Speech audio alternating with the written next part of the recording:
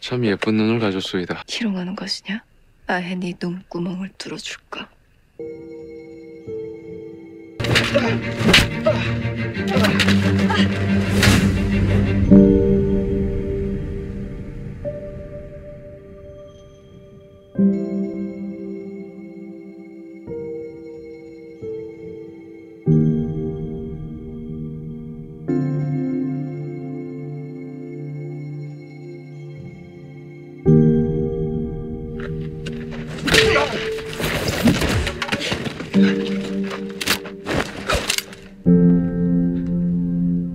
나를 죽이러 온 거야?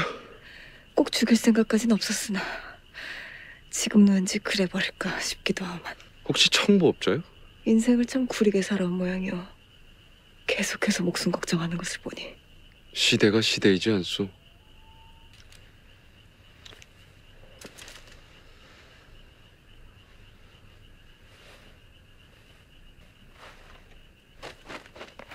나한테는 무슨 용건이야?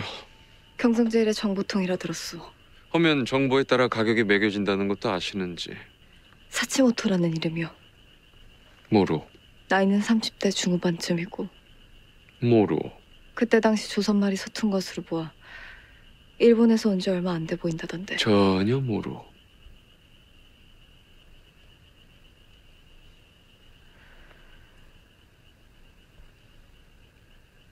실은 10년 전에 실종된 내 어머니를 찾고 있어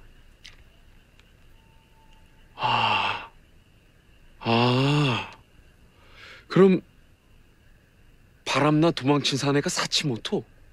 어? 10년이면 꽤 오랜 시간이 지났는데 새 살림을 차린 거라면 오히려 찾지 않는 게 낫지 않겠소? 불행한 새끼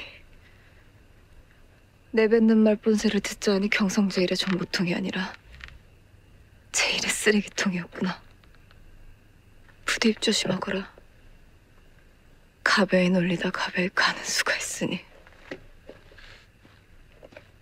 이름이 뭐예요?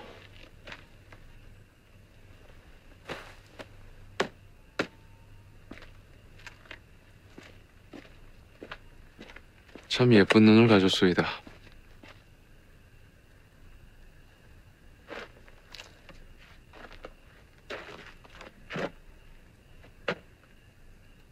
희롱하는 것이냐?